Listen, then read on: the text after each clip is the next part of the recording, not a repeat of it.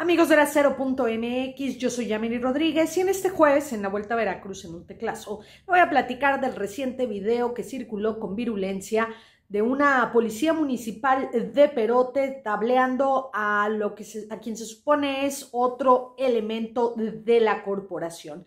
Aunque no hay indicios de cuándo se grabó, el alcalde, el priista Delfino Ortega, inmediatamente salió a decir que no van a tolerar la violencia, que respetan los derechos humanos y que se castigará el abuso de autoridad. Suponemos, por esa velocidad, de que pues obviamente tiene plenamente identificada a esta policía y que sigue en activo. Sin embargo, aunque se le veía la cara, no dijo en ese comunicado que sería sancionada y, por supuesto, corrida por este hecho.